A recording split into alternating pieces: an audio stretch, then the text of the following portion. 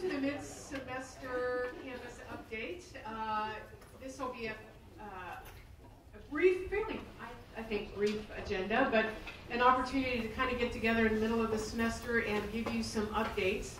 I don't know about you, but I, my body is not adjusted to this change in the temperature yet. I'm walking around, it's just like, brr.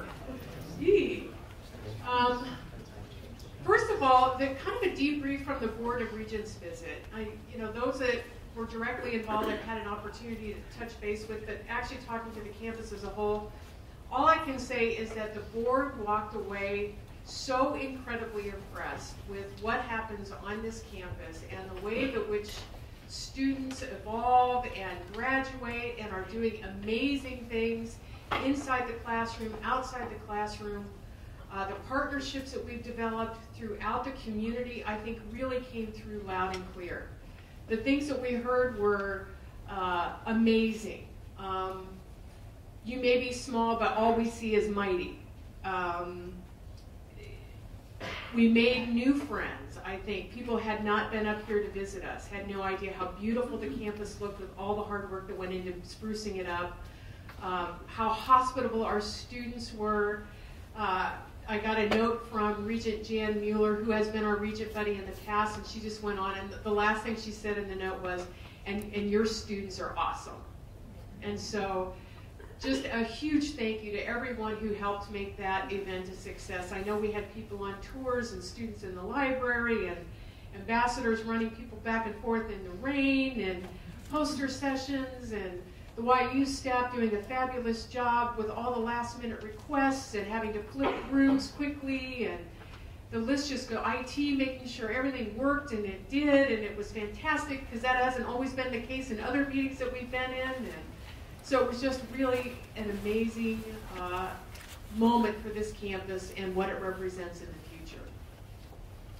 Some news at the system level, in case you're not aware, President Cross is retiring this year. So that's big changes afoot. Um, I have been asked to serve and have accepted to serve on the search committee, so that search will probably get kicked off within the next couple of weeks. Um, I think it's a pretty good search group. It includes Regent Regina Millner, who uh, went off the board this last year, uh, Becky Blank, the Chancellor of Madison, uh, Drew Peterson, the board chair, uh, Michael Grebe, who's actually chairing the search committee, and Ed Manydeeds, who is also our regent friend and alumni down there in Eau Claire. So it's a nice group. I think optimistically they're interested in having that search wrap up by what they say is third quarter, which would be the middle of our semester next next semester. But that's that's a pretty aggressive timeline. Uh, we, we hope to get a good one that's going to continue leading the system forward in, in what's challenging times. Uh, just a word about budget. So we know that the budget did pass. We actually have not received the check in our account yet, so to speak. Um, it's 22.5 million. Our percentage is about 1.8 percent. This is new money. It's tied to the performance metrics. Uh, we came out, I think, a little bit better than than last year, although our retention numbers were down a little bit. So um, that's good. Uh, it equates to about, if Jeff were here, equates to about $365,550, something like that. Um, so we'll let you know when we actually get the final amount and, and quote the check is in the bank because it has not been distributed. The other big uh, event that's going on on campus is strategic planning, and I've asked Harry and Maria to kind of give you an update because we've got big visits happening next week, so I will turn it over to them and they will uh, give you the latest.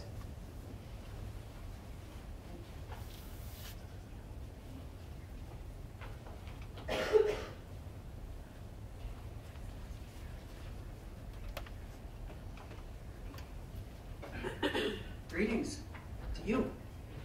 Harry. Hi. How are you? Maria Cuzzo, uh, Interim Of Academic Affairs, and my colleague. Harry Anderson, Dean of Student Senior Student Affairs Officer.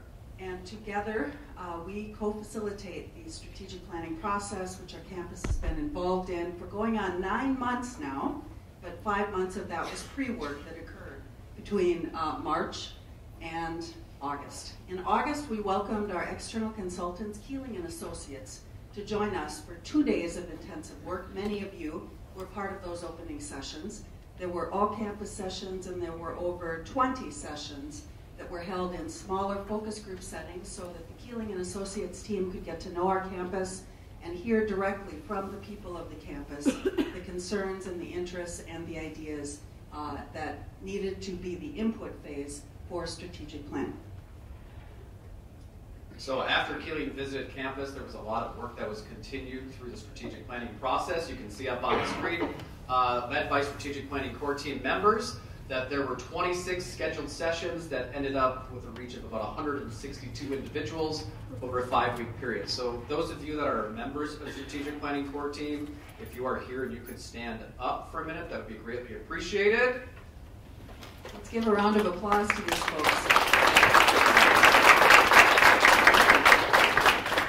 hours and hours that went in, into doing this. Also, uh, surveys that were developed and sent out, you can see that they went out to students, staff, alumni, business employers, uh, over 1,500 uh, survey responses that came back, and there was also an idea wall that was housed in the YU uh, where students could provide uh, feedback into that. We had over 100 ideas come through that process. So we are getting ready at this point to welcome Keeling and Associates back to campus next week. And we would like to warmly invite all of you to please schedule during one of the four open sessions that will be held. They have been working with the strategic planning core team all fall and inputting all of this data into now what will emerge as the top themes. And those themes are what will be shared with the entire campus during these four open sessions and then one dedicated session for our students. Uh, each session will be done exactly the same way, so it does not matter which session you choose to attend. Going to hear the exact same summary of the themes and have an opportunity to dialogue with others who are also at your session. Uh, we also have worked with Keeling to convene the first ever, to our collective knowledge of the campus, uh, which goes back many years, uh, an all governance meeting, which will also hear the same information, but it's the first time that all of the senates that engage in governance activity will be gathered together at the same time in order to dialogue and talk with each other. So we're very excited about the possibilities of that conversation and what will occur there. So this is coming up next week, November 13 and 14. There are SPCT um, emails that have been sent out with schedule and and if you don't happen to have the schedule memorized, like some of us might, uh, we provided it here. And the big thing is we really want to know, did we hear you? So Keeling Associates will, will provide the information that's been gathered through all the input sessions and the surveys, and we need to make sure that that information reflects uh, what was communicated. So the big thing, we want to make sure that you were heard throughout this process. You can see that there are two sessions scheduled on November 13th, uh, two sessions on the 14th, and then a student-only session uh, Wednesday evening. So if you work with students or have access to students, please encourage them to show up uh, to this Wednesday evening. We also want to make sure that all of you uh, are able to make any one of these sessions as well. And you can see the four on the top there are open to all students, faculty, and staff. So please, please, please, we need to hear from you once again. Yes, and we've tried to design a process that is inclusive, that is welcoming, that has allowed multiple input points, and that will continue over the coming months as well as we move along our work. Uh, supervisors in the room, we would please invite you to plan ahead for next week in order to create windows of time for all staff to be able to attend at least one of those open sessions. Uh, you'll be hearing from the Chancellor on this within a couple days as well. We want to make sure that everyone on the campus has the opportunity to participate. Um, we are very, very proud as an SPCT group of the high levels of involvement.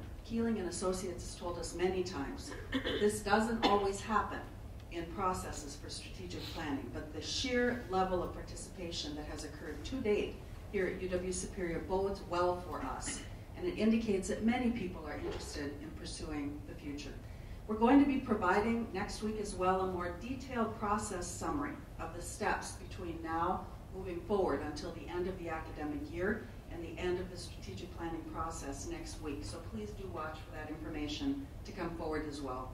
But mostly we just want to express a great deal of gratitude and a great deal of pride in all of you for demonstrating your care and concern and ongoing commitment to the best interests of UW Superior, to our students, to the role that we have in the region, and all the fine work that we all know happens every day here. And thank you. That's a big thank you. Please continue to be involved. Thank you.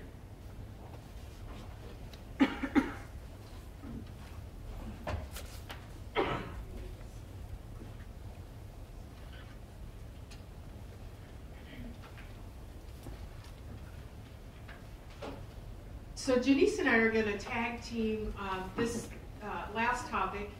And we also have a special visitor who will be chiming in as well. Mayor Dean Payne is here uh, as we talk about um,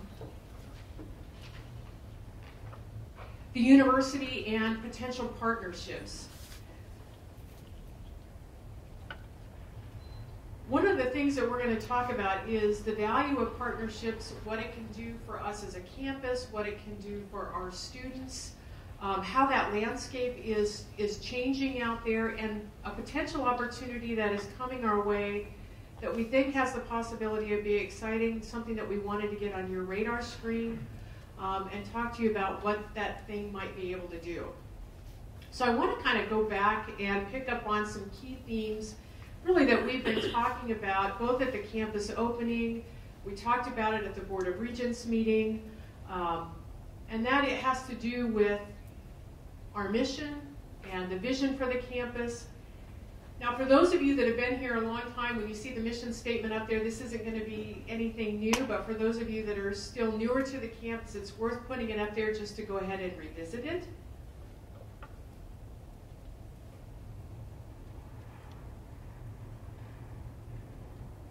and the vision. What we talked about at the campus opening was that fundamentally we are about our students and making sure that they have a successful experience with us, that we're able to recruit them, that we're able to retain them, that we're able to graduate them through what we can provide on the campus. Part of the way we do that, obviously, the most natural way is the, is the academic programs that we have in place. So the experiences that they're having, the opportunities that they have to uh, succeed in those programs. Second is experiences that they're getting within the classroom and the experiences that are getting outside of the classroom. And that includes things such as recreational opportunities, athletics, student involvement kinds of things, and the kinds of services that we're able to provide to them. We know that one of the things that we were trying to really showcase at the Board of Regents meeting was the value of the partnerships that we have, both collaborations on the campus, but also how successful we have been in serving our community and working with our community and in partnering. And I think one of the things they did walk away was was that sense that we are an engaged campus. We're not just an ivory tower, we are out there, boots on the ground, in all kinds of ways, in all kinds of venues. Those partnerships, I think, have served us very well, and I think are going to be a critical component as we talk about being successful in the future. Good afternoon, everyone.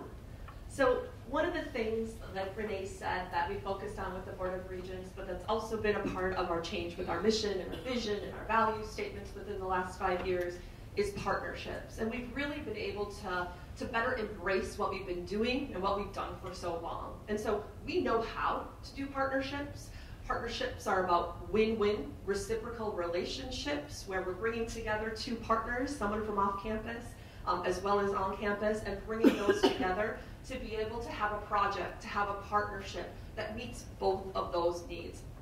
We do within the classroom, curricular based. We do thousands of students, or over a thousand student experiences every year through academic service learning, through internships, through undergraduate um, research that's community based, and in a number of ways as well that Renee's going to share.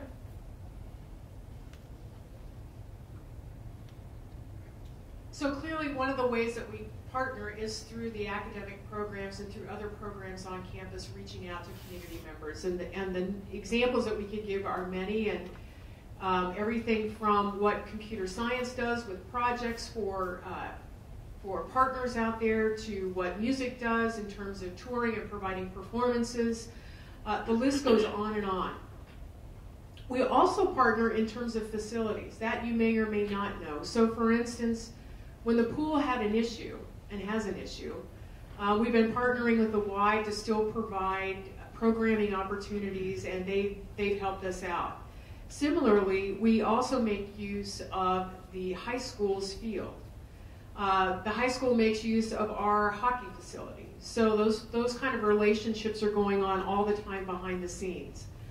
Another way that we partner that maybe we don't talk explicitly about, we, although we talk about workforce, um, is economic development, which really has to do with how are we helping stimulate and contribute to and encourage a thriving local economy. Because if Superior thrives, we obviously as a university thrive. And if the Twin Ports thrive, we as a university thrive.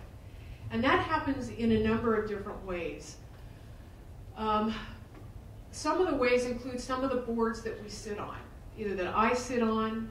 Uh, for instance, I sit on the, the uh, Chambers Board, I sit on the Development Association, uh, I sit on Essentia's East uh, Health Hospital Board, um, and a couple of others as well. That's one way that we're sort of trying to keep in touch with what community needs are, the role that the university can play within the community. Over time, I've also asked Jenice to pick up some of those. It started first with, with Cecil, but really it's gone beyond that because there's more venues out there than I can possibly be at. And so I've asked her, for instance, she's sitting on the mayor's economic development team. She sits on Northward, which is regional educators that includes Stout, us, Northland, um, WITC looking at transfer agreements and other ways that our, re- our region's universities and two-year schools can partner, and a number of other forums as well. I'm going to have uh, Jenice talk about some of the things that, that are emerging and have emerged as a result of sitting on some of those uh, boards, particularly with regard to what's happening with economic development within the community. So some of the things that we've been learning, especially in the last few years, that um, about the needs in Superior in our area around economic development, and Mayor Payne may speak to some of these when he's up here, maybe not. Um, but what we know is that there's been a number of housing, hotel, and retail needs studies that have been commissioned, as well as a Better City Superior initiative that's taken place. And so with Better City Superior, um, this initiative really began with a Development Association um, based off of the success of another community, Ogden, Utah. There was some synergy that was brought and some revitalization that was done in their downtown area. What they did for Better Cities is to look at that and how can we learn from that as a community? What can we do to help spur tourism and to, to help aid with economic development? So that's been an initiative that's been going on. Um, the city and Douglas County also commissioned a housing study back in 2019, where the results of that were finding that within um, Superior and Douglas County, that we need at least another 2,000 housing units every um, 2,000 over the next 10 years, and that was in 2015. So about 200 a year for 10 years. And in Superior, in particular, um, the demand was really favoring more rental housing, um, according to the report. And then with a hotel study that was commissioned by the city of Superior in 2017, they're found for a need for additional rooms. And the Development Association that has underway right now a retail study where they're trying to identify additional opportunities to bring in retail offerings within the community. Don't think Target's coming back, but there could be other opportunities out there um, that they're looking to pursue. So all along, what we try to do at the university is, is to look at what are our needs internally and how can we help match whenever possible what the needs are out there in the community, what the data is telling uh, them, and figuring out are there ways to make things work. And to tell you the truth, we have some realities on the campus that uh, we tried to actually showcase at the Board of Regents meeting, but also some realities that I think are going to be true not just right now, but over the next, well, at least the next few biennium. Um, one is that we have aging facilities. One of the things that was really smart, probably about 15, 16 years ago, was that they took the, the regents at that time on what Jan Hansen would have said was the warts tour. And that means we took them around and showed them all of the crummy places and the things that were falling apart. And uh, at the time, Rothwell Student Center was there. There was not the addition to the Marcovich Wellness Center.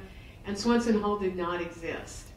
It was by going on that wards tour that, that funding eventually and acceptance of the capital projects when, when there was money out there uh, was able to be funneled this way to help make those projects a reality. Well, we did that similarly not that long ago. We took them on a wards tour. And the nice thing is, you know, we got beautiful Swenson Hall. The YU is a really a wonderful showcase piece. Um, the MWC is, is, you know, one of these days going to be primed for some work. Uh, but frankly, our, our fields, our recreation fields, are in miserable, woeful shape. Uh, we have the baseball field is sliding into the creek. Um, the soccer field is unusable because it has concrete and rebar that's popping up through the ground because when they built it, they put fill dirt over construction fill.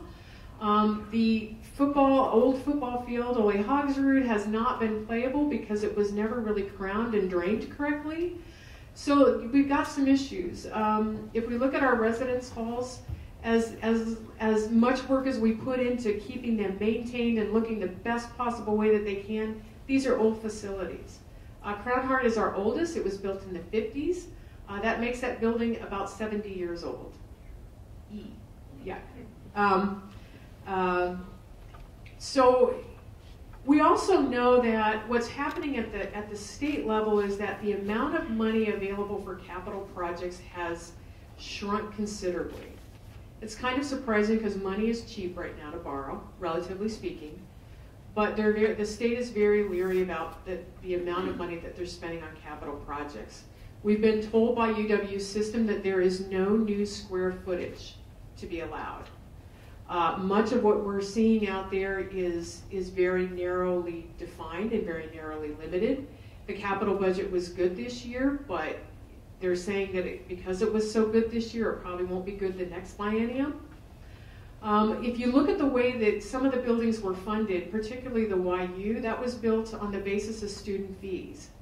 We believe, I believe we have one of the highest seg fees within the UW system. So our capacity to look to students to shoulder the burden for development for facilities is very limited. We wouldn't want to do that, I think, from a, from a pragmatic standpoint. We wouldn't want to do that from an idealistic standpoint. And, and right now, there's no way that that would fly even, even if we would do it through the Board of Regents. So our capacity to be able to make those kinds of changes is, is really very limited.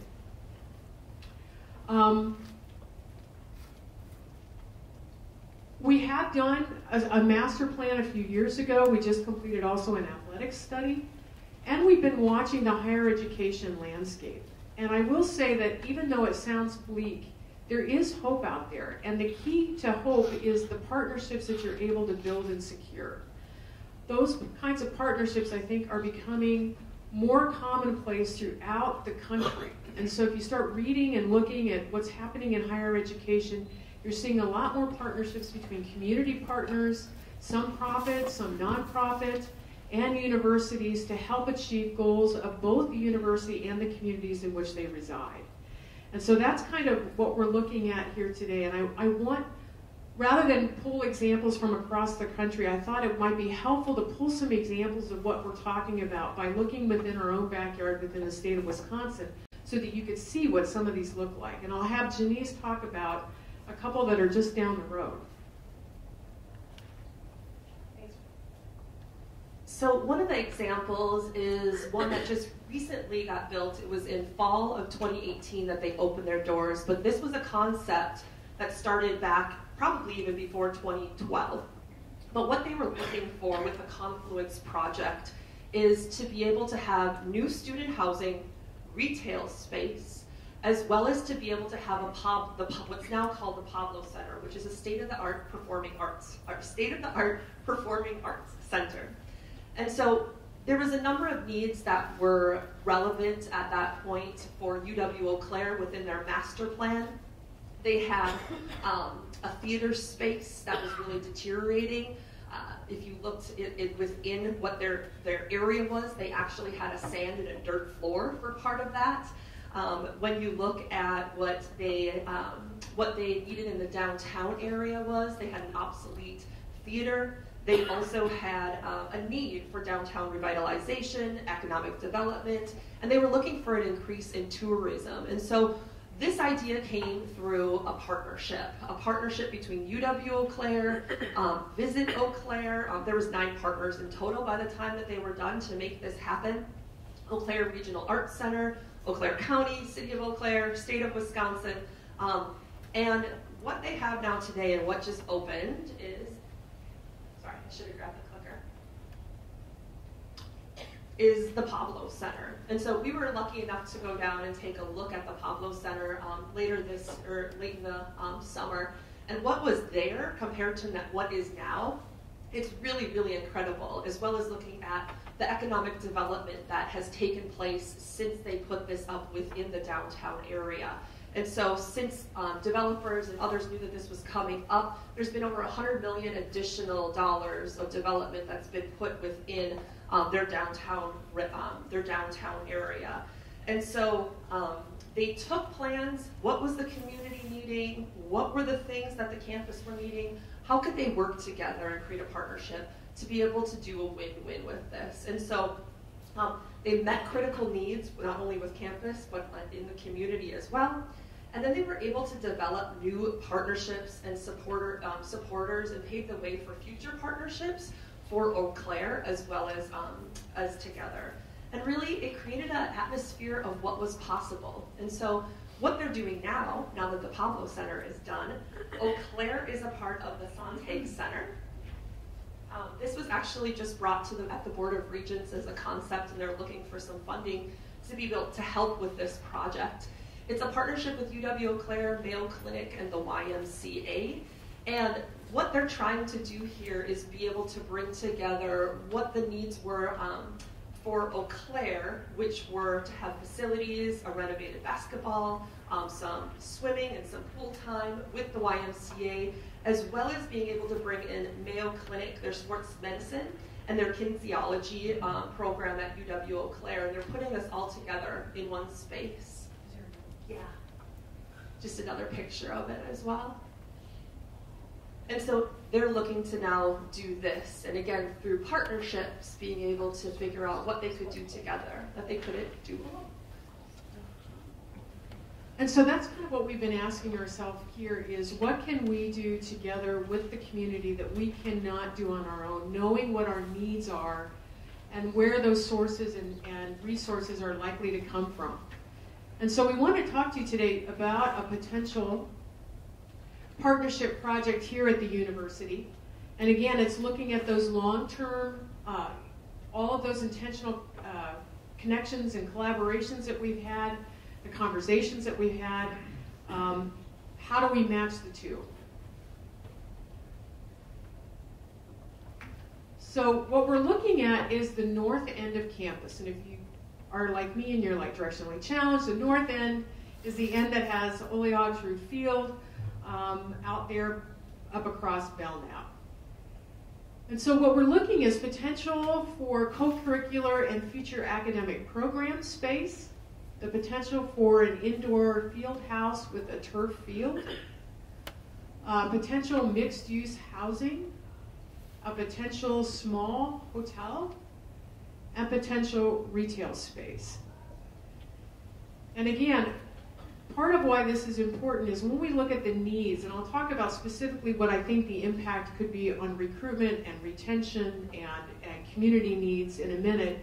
But when we look at the 70 year old residence hall, the fact that we have unplayable fields, um, the fact that uh, there is no facility within um, this city, given our challenging weather, uh, basically we've got what about three months outdoors, maybe four uh, to in which to operate. Um, looking at space is important.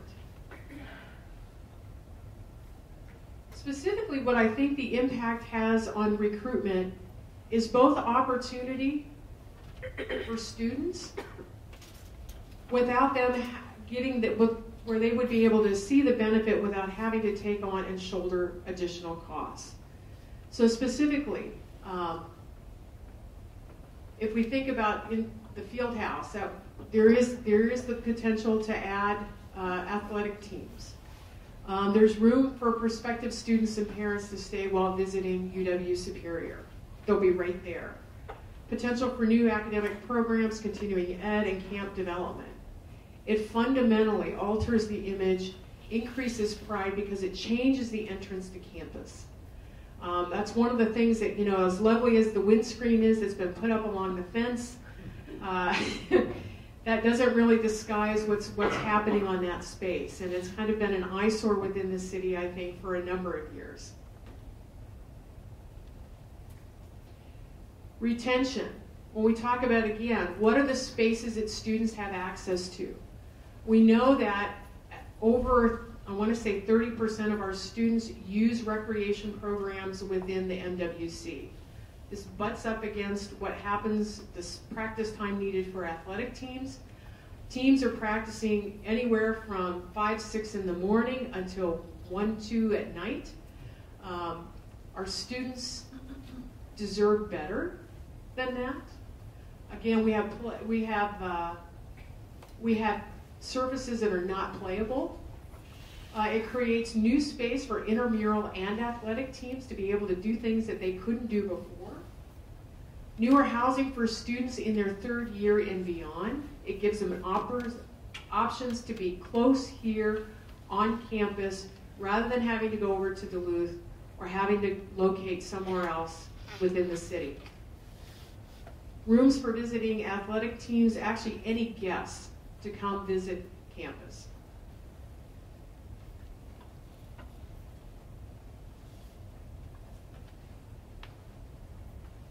What does it do for the community? We think it brings new life into campus and the community itself if you think about what it might potentially do to jumpstart Belknap. In much the same way that you're sort of seeing that revitalization of Tower Avenue happen, it naturally has the opportunity to bring more community members onto campus. This is something we've talked about a lot. Um, so that when you've got people coming in for performances and people coming in to see the theater or music or lectures or all the kinds of things that we do on campus, this is a way to also help bring them here. It'll, it has the opportunity to bring tourists to campus, bring additional youth and high school sports to campus. If we talk about how do we maximize use of the YU, natural for visiting students and their parents to stay right there, especially if they're coming out from the cities or sometimes even beyond. Also for weddings, conferences, and events that could be held on campus.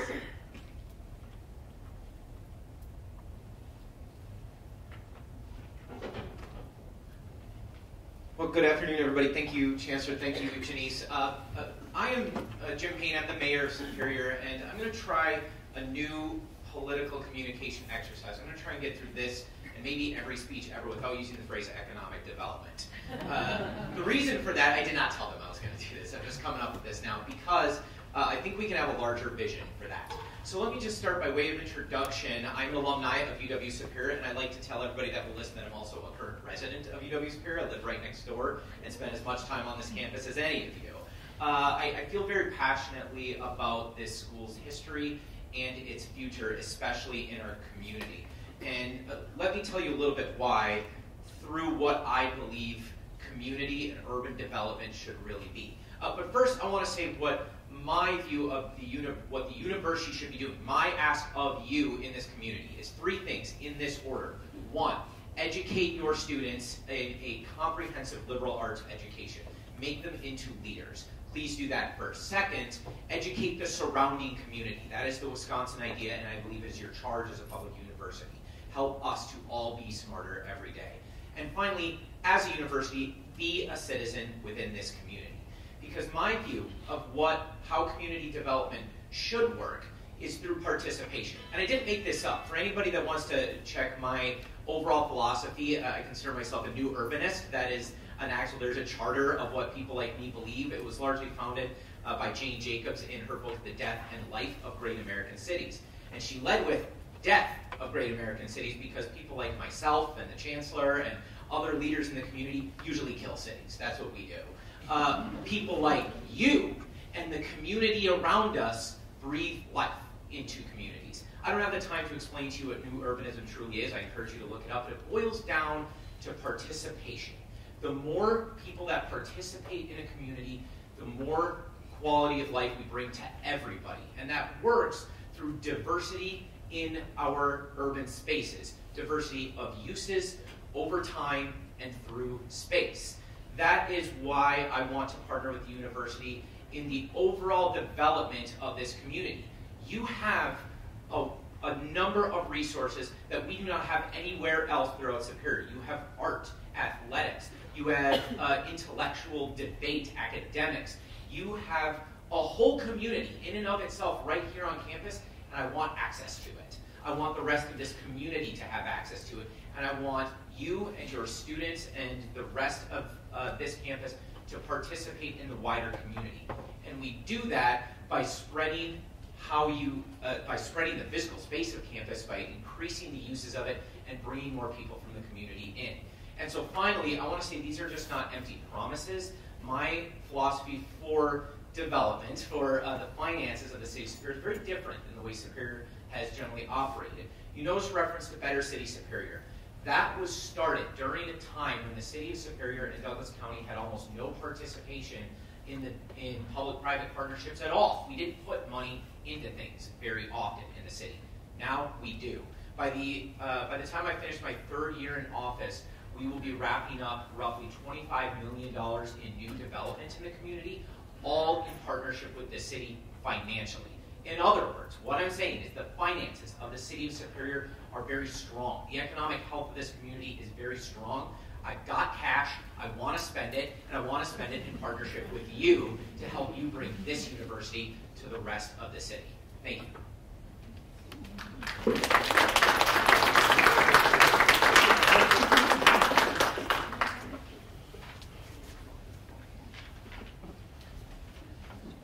Thanks so much, Jim.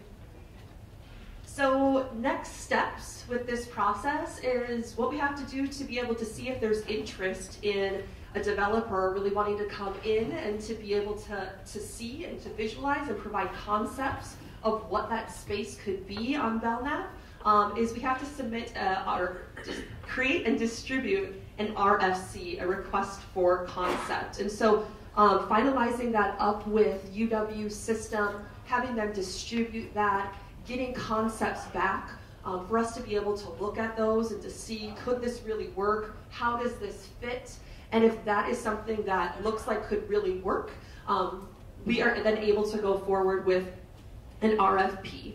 RFP has a lot more details. There's a lot more of the agree, uh, agreements that would be a part of there with a developer. Um, and, and I think that the most important part with this is that we have some timelines of how we would like to see these things go, um, but th this is a, this is a process. Uh, we get to own that process, but there's a lot of different pieces and a lot of different ways and a lot of conversations um, that will happen to be able to make something like this really happen and to work. And so there will be opportunities. This is the, the first time I know that many of you are hearing about this, but there will be opportunities to be involved as we continue forward with this project. So these are just some closing thoughts. Um, we think that this is an exciting opportunity for us to consider. Um, it leverages what we have to aid both our students and win-win aid our community. I think it does both. If I were to try to characterize where we are in this process, like this big, we're like at the very, very, very, very beginning. This is not something that happens overnight. Um, things like the Confluence Center and the Pablo Center, that thing actually started, I want to say around 2009, 2010. That took a long time for that project to come to fruition, to get all the pieces in place, to get all the input in, uh, to make it all happen. So these could go faster, could go slower. It's really, it's just so early. And at any time, I think there's no guarantee. It could all fall apart. If the financing doesn't work and it can't come together, it could disappear in a heartbeat. But it's something at least we thought that was worth exploring. So again, many, many, many details are still being worked out. Um, you're hearing about this about as early as we ever thought that something might actually look like could, could possibly be explored. And so I wanted to make sure that you did hear about it, that if you've got questions, again, this is as it goes along and evolve. We'll keep you up to date, keep you apprised, seek your input and feedback. And um, other than that, I think it's these are interesting times. So we're happy to take any questions that you might have.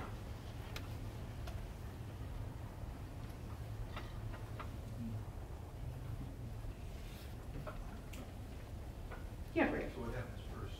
How how does the ball go? So we're having conversations with UW System to ask them what the next steps are. How do we actually put something together that goes out, that people can respond to, to come back and go, yep, that'll work, nope, that won't work, you can't put this there, you could probably put that there. Um, and I've got Jenice kind of as my point person working with both the city and with System to, to get that thing ironed out. What's the city's role in it first? Is it just between us and system, or where does the city come The city comes into it because it's something that we want to make sure is meeting everybody's needs. We want it to meet our needs, what it's going to do for our students, what it's going to do for campus, but also trying to figure out how does that dovetail into what the city needs. And so making sure we're all on the same wavelength. At some point, it may we may try to go after state money like they did with Confluence Center, in which case we want our friends and supporters all to be, we all want to rally together to go do that. So making sure that we're having all of those conversations. Yep. Well, Um, can you just explain about the point about no new square footage and, and this?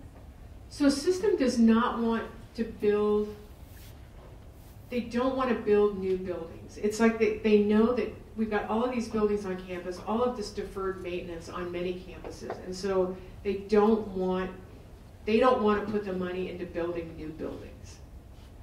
They don't mind helping with restoring things, but they don't want to necessarily put it into new buildings particularly. Is that Sure. But there will be, Well, yes, but the key is who's paying for it. Yep, Jason. The field house, will there be, a- would- we're really early on, but would there be a track and field? Uh, Will this be the, the home of men's, women's soccer? Any ideas on the, the new field house with the field turf? We don't. We know that we, at a minimum, it needs to be competition size. That you need to be able to host and do real stuff in it, as opposed to it just being a practice facility. And beyond that, that is literally as far as the concept is. It's one of the huge needs both that we have on, on the campus and that the community has because there is no indoor space.